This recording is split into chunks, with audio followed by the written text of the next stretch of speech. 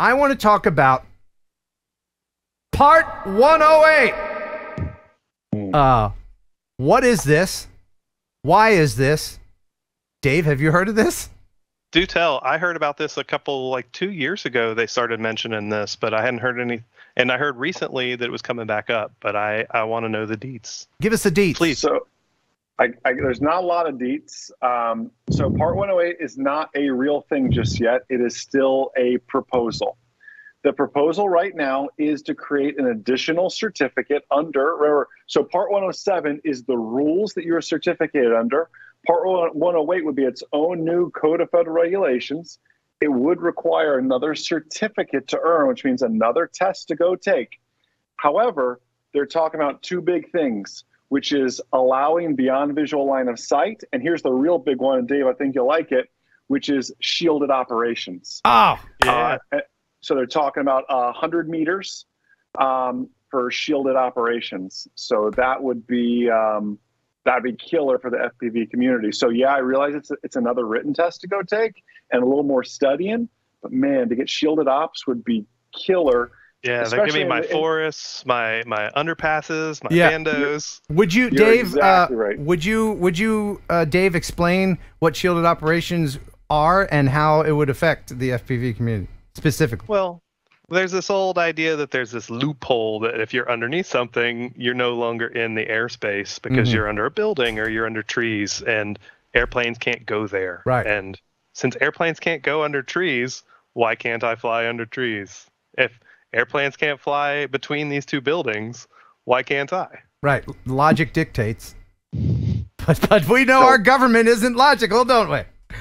right but they're going to have to further define you know from a regulatory standpoint what what are shielded operations why is a forest shielded operations but a tower standing alone by itself may not be I, and i'm not saying that's a, a fact just yet so they'll have to define that they will be tested on it it's going to fall under part 108 and again to, to share with everybody where this process is at this is still this is uh, not even out for comment just yet. This is just a proposal at this point. It then will go to comment and then it'll continue on its notice proposed rulemaking uh, phases with this. So this is years out from coming to fruition. Maybe year, maybe years plural. It's a while from coming to fruition. So don't sweat it.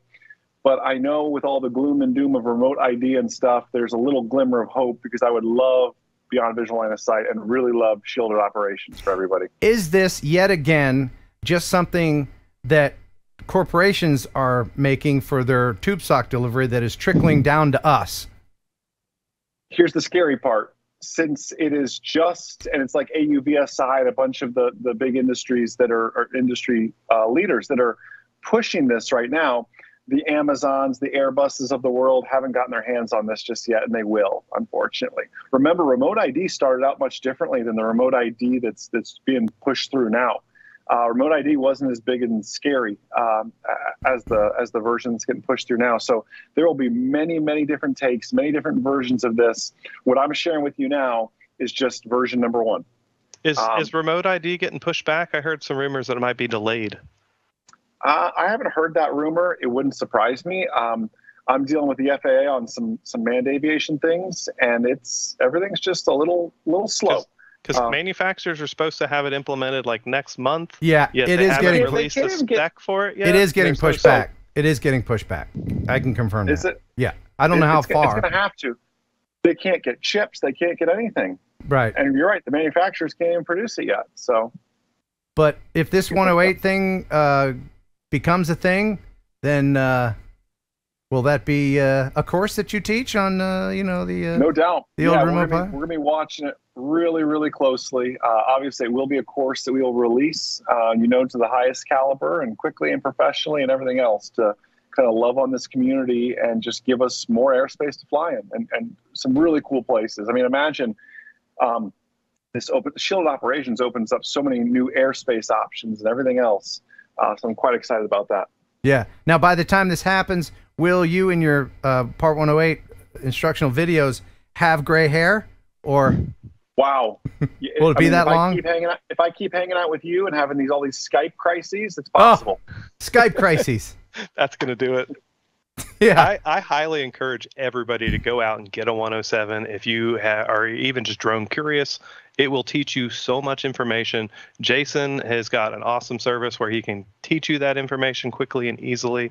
But just knowing the rules is so helpful for me. I mean, I may be a little bit of a rebel, but I know those rules and I know how far that line is and where it is if I'm going to have to cross it or not. It really and knowing is. those rules is really important. It's and a- it's a power. it allows me to do awesome work. Like I flew uh, a building implosion last month, and they Wow. blew pyrotechnics off the top of the building, and you bet they wanted that paperwork, and they wanted it all right, and I had to have registration and all Hmm. the T's crossed. They wanted all the information and my insurance and all that. Uh, so go out and get that license. It will allow you so many opportunities to just fly your drone in awesome places and get paid to do it. And I think everybody should. Yeah, and next time a cop bothers you, you go, well, I know more than you do. Because that's what they like. That's Don't not the do approach I that way. usually take. Don't- Yeah. Don't do that. Best thing to do Ken. is just put the goggles on them. Put the goggles on the police officer. That's pretty cool. And you have a friend immediately. They love to go fast. I've never met a police officer that wasn't a bit of an adrenaline junkie. So you're going to find Yeah. cops that want to go fast and want to see what you're doing. Most Yeah. of them really like it. And if you can get them to wear the goggles, you can usually If get you could get permission them, to be there. if you get them, I, I actually did. Uh, I did put goggles on a cop once, and he said to me, he said, "Now this is gonna be fun and all, and I, you look trustworthy. Uh, don't don't be alarmed, but I am gonna put my hand on my gun.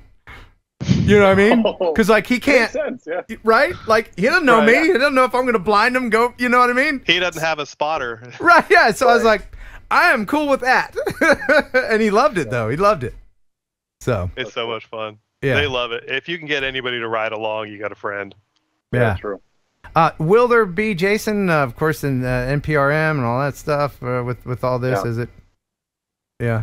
So Oh yeah, it's gonna, it's gonna go through the whole process. Just like we had our opportunity to comment on remote ID and everything else, we'll have our opportunity to comment on this. I'm sure some big corporations are gonna sneak in some sketchy looking stuff that we're gonna have to fight out and everything else. And just know that myself, our team here, we've all been reading up on it and just continuing to stay abreast on what's happening, so we can keep you keep everybody informed and let you know when it's time to start making those comments as well if things get ugly. all right. Well, thank you for that information, sir. No problem. So I'll keep you in the loop. This video lovingly sponsored by RemotePilot101.com. If you are serious about making money with your drone, whether it be photography or FPV, well, then you're going to need from the FAA a 14 CFR Part 107 certification. And the best place to study for that certification is RemotePilot101.com. Jason Schappert is a pilot and author of eight best selling aviation flight training books. And yes, taking tests suck, especially government tests. But Jason breaks it down into 10 easy lessons into little digestible pieces that even someone like me can learn from. And if I can do it, you can do it, by golly. Each lesson is streamlined, there's no fluff. Everything you need to know for the test and nothing more. Plus, it's regularly updated, so if something new comes out, a new regulation, or the FAA just has a mood swing, Jason will let you know about it. As more and more drones are integrated into the United States airspace, the FAA will be coming out with more and more regulation, including things like remote ID and all the other crazy things you've been hearing about. So protect yourself, get the knowledge, become a Part 107 certified drone operator. There's never been a better time to get certified, so get the smarts you need to pass that test at remotepilot101.com. Use Heron18 to get 30% off. That knocks the price down to 104 bucks. Look at that! Boom! Magic time! You wouldn't drive without a driver's license. Don't fly without a UAS license. RemotePilot101.com.